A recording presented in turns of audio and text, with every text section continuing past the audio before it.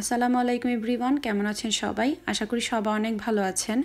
আজকে ছিল শুক্রবার, সারাদিন বৃষ্টি ছিল, বিকেলবেলা বৃষ্টি নেই, আর সাথে একটু রোদও দেখা যাচ্ছে। তো আমি আজকে আপনাদের সাথে তিনটা রেসিপি শেয়ার করব। রমজান এসে যাচ্ছে, তাই ভাবলাম রেসিপি তিনটা শেয়ার করি। যদিও রেসিপিটা খুবই কমন সবাই এগুলো বানায়, তারপরও শেয়ার করছি। প্রথমে আমি রেসিপি শেয়ার করছি ব্রেড ক্রাম্পের তো আমি ব্রেড সাইডে থেকে কেটে নিয়ে মাঝের অংশটা ব্লেন্ড করে নিয়েছি এবং এটা লো ফ্লেমে জাস্ট ভেজে নিব। যখন এটা পারফেক্টলি ক্রিস্পি হয়ে যাবে আর একটা সুন্দর কালার চলে আসবে, তখন আমি এটা নামিয়ে ফেলব আর ঠান্ডা হলে ব্লেন্ড করে নিলেই এটা রেডি হয়ে যাবে।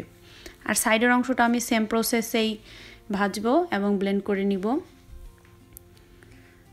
তো ব্রেড ক্রাম্পটা অনেকটা কালার চলে এসেছে, আর কিছুক্ষণ ভাজলে এটা রেডি হয়ে যাবে।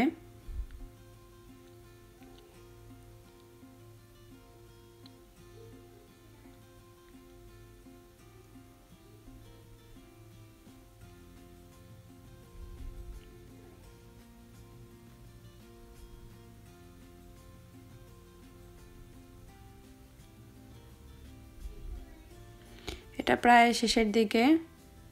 এটা রেডি হয়ে গেছে। এখন জাস্ট আমি চুলা থেকে নামিয়ে ফেলব আর ব্লেন্ড করে নিব, তাহলেই হয়ে যাবে।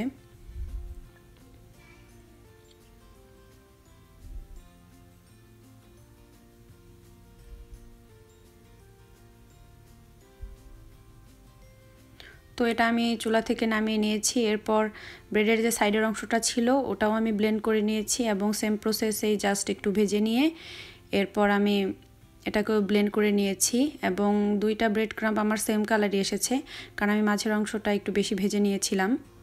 আপনারা চাইলে কম ভাজতে পারেন। তো এখন আমি রেসিপি শেয়ার করব আলুর চপের। এজন্য আমি নিয়েছি সেদ্ধ আলু, আর সাথে আছে পেঁয়াজ বেরেস্তা, কাঁচামরিচ, ধনিয়া পাতা, লবণ, জিরা গুঁড়া, ধনিয়া গুঁড়া, গরম মশলা গুঁড়া আর আছে মরিচের গুঁড়া আর চাট মশলার গুঁড়া। চাট মশলা দিলে আসলে এটা টেস্ট অনেক ভালো আসে। চেষ্টা করবেন চাট মশলাটা অবশ্যই রাখতে। আর আলুটা অবশ্যই অতিরিক্ত সিদ্ধ করা যাবে না। যদি আপনি বেশি সিদ্ধ করেও ফেলেন সেই ক্ষেত্রে সিদ্ধ আলুর পানিটা ফেলে দিয়ে আলুটাকে একটু যে পাত্রে সিদ্ধ করেছেন, ও পাত্র সহ চুলার উপর রেখে দেবেন, তাহলে গায়ের পানিটা শুকিয়ে আসবে আলুর এবং তাহলে ওই আলুর চপটাও ভালো হবে। তো এখন আমি সবগুলো মশলা একে একে এর মধ্যে দিয়ে দিয়েছি এবং পরিমাণ মতো লবণও দিয়ে দিয়েছি। এখন জাস্ট আমি এটাকে শেপ করে নিব পছন্দ মতো সাইজে আপনারা চাইলে যে কোনো রকম শেপ করে নিতে পারেন। তো আমি শুধু গোল শেপ করব আর কিছু চ্যাপটা করে নিব।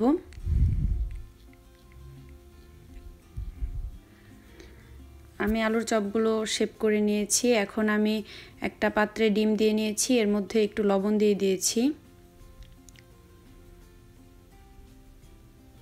কারণ আমি একটু আগে যে ব্রেড ক্রাম্পটা বানালাম, ওটা দিয়ে আমি আলুর চপটা কোট করব, এই জন্য ডিমে চুবিয়ে নিচ্ছি। তো এখন আমি ব্রেড ক্রাম্পে এটাকে ভালো করে কোট করে নিব। আপনারা সবসময় চেষ্টা করবেন আলুতে যখন কোনো কিছু, যখন আপনার ডিমের মধ্যে কোনো কিছু কোট করবেন, তখন অবশ্যই কাটা চামচ ইউজ করার জন্য।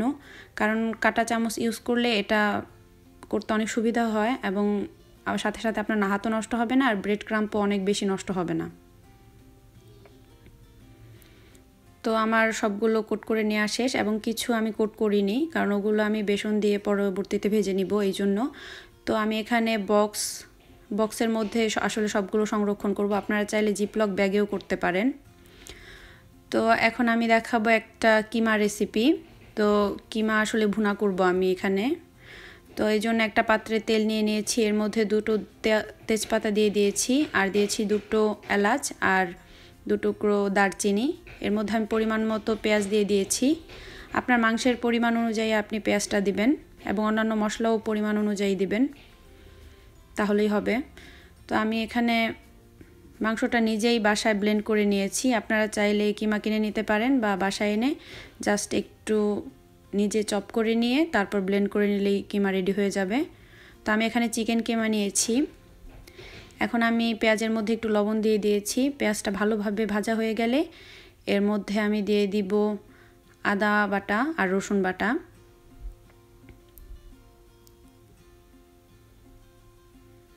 এরপর আদা রসুন বাটা একটু ভেজে নিচ্ছি যাতে র ফ্লেভারটা না থাকে।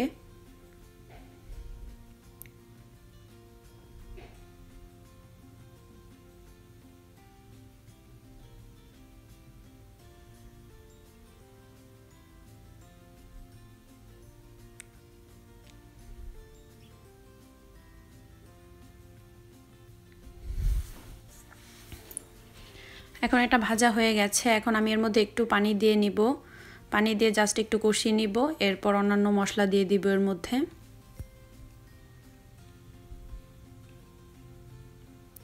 তো এখন আমি দিয়ে দিচ্ছি হলুদ গুঁড়া, মরিচের গুঁড়া, আর আছে ধনিয়া গুঁড়া, আর একটু গরম মশলার গুঁড়া দিয়ে দিব।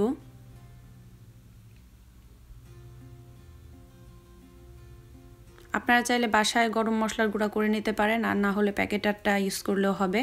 তো আমার এখানে টিআরএসের মশলাটা বেশ ভালোই, আমি ওইটাই ইউজ করেছি। তো এখন আমি মশলাটা ভালোভাবে কষিয়ে নিয়েছি, একটু পানি দিয়ে। এরপর আমি এর মধ্যে চিকেন দিয়ে দিচ্ছি। কিমাটা মশলার সাথে ভালোভাবে মিশিয়ে নেওয়ার পর আমি কিছু সবজি ইউজ করব এর মধ্যে। আপনারা চাইলে এর মধ্যে যে কোনো সবজি ইউজ করতে পারেন। আমি শুধু গাজর এবং আলু ইউজ করেছি।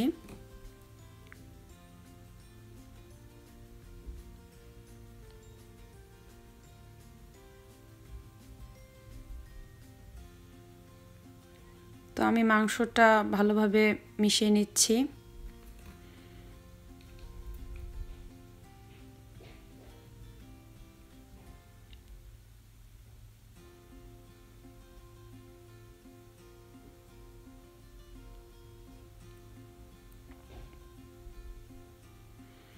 মাংসটা মেশানো হয়ে গেছে। এখন আমি এটাকে একটু ভালোভাবে ভেজে নিব, কারণ মাংস থেকে একটু পানি বের হবে।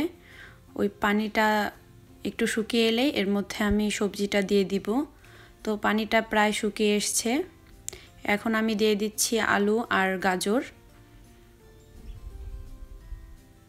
আপনি চাইলে এখানে মটরশুঁটি বা অন্যান্য সবজি ইউজ করতে পারেন, যেটা আপনার ভালো লাগে।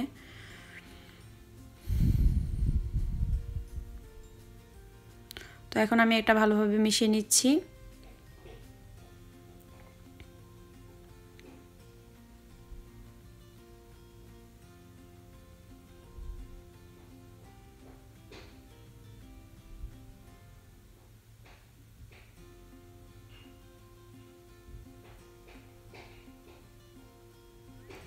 তো এটা মেশানো হয়ে গেছে। এখন আমি এর মধ্যে পরিমাণ মতো পানি দিয়ে দিব যাতে গাজর, আলু এবং মাংস ভালোভাবে সিদ্ধ হয়ে যায়।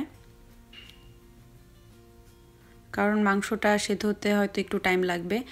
তো আমি পরিমাণ মতো পানি দিয়ে নিয়েছিলাম। পানিটা এখন শুকিয়ে এসছে এবং সবজি, মাংস দুটোই ভালোভাবে সিদ্ধ হয়ে গেছে। তো এখন আমি এর মধ্যে দিয়ে দিব কিছু ধনিয়া পাতা আর কাঁচামরিচ কুচি। এতে এতে সুন্দর একটা ফ্লেভারও অ্যাড হবে। আর কাঁচামরিচের জন্য এটা একটু ঝালও লাগবে আর সুন্দর ঘ্রাণও আসবে। তো কাঁচামরিচ দিয়ে আমি এটা একটু মিশিয়ে নেব, এরপর ধনিয়া পাতা দিয়ে দিব।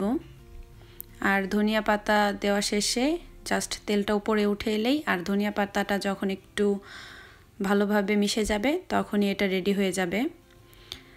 আর আপনি এটা দিয়ে চাইলে সিঙ্গারা বানাতে পারেন, চাইলে রোলে এটা ইউজ করতে পারেন। তো আমি এটা দিয়ে দুটো ইউনিক রেসিপি আপনাদের সাথে শেয়ার করব পরবর্তী ব্লগে আশা করছি।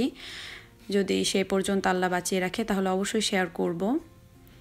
তো এটাও অনেক কমন একটা রেসিপি এটা সবাই পারে। তারপর আমি যেহেতু এটা করেছি, তাই ভিডিওটা করে ফেললাম।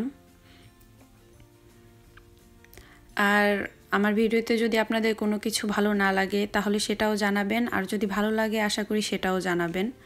তাহলে আসলে আমি বুঝতে পারব আমার কি ভুল আছে আর কি মানে আমার ল্যাকিং সাইড আমি অবশ্যই বুঝতে পারব। আর সেটা অবশ্যই আমার জন্য অনেক হেল্পফুল হবে। তো আমার মাংসটা রেডি হয়ে গেছে। এখন জাস্ট এটা আমি ঠান্ডা করে ডিপ ফ্রিজে রেখে দিব। যখন আমি রেসিপিগুলো বানাবো, তখন আমি এটা জাস্ট একটু আগে বের করে নর্মাল করে নিলেই হয়ে যাবে। অথবা আপনারা চাইলে এটা দিয়ে আগে সিঙ্গারা বা ফ্রোজেন কোনো খাবার বানিয়ে তারপর ফ্রিজে রেখে দিতে পারবেন, কোনো সমস্যা নেই। তো আজকের ব্লগ আমার এই পর্যন্তই। আশা করি আপনাদের ভালো লাগবে। আমার যদি ভালো লাগে তাহলে অবশ্যই আমার চ্যানেল সাবস্ক্রাইব করবেন। আল্লাহ হাফেজ।